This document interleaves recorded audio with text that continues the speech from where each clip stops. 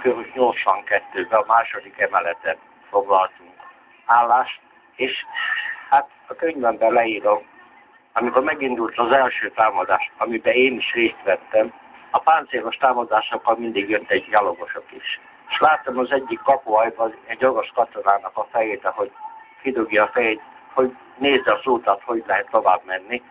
Én megcéloztam az orosz katona fejét, és meghoztam a ravaszt.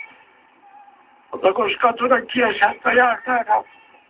Hát nem lehetett tétet is, az én golyom ölte meg. Ne higgye senki, hogy olyan könnyen ennek megölni. Most akkor visszagondolok rá, most is köszönjük a szemembe.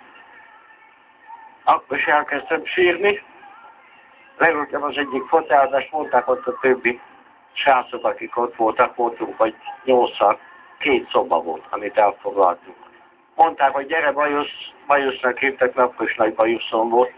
Gyere, mert jönnek a ruszkik, adj nekik. Rá és sírni később is. Vissza kellett menjek az ablakos, akár mennyire fájt, folytatni kellett.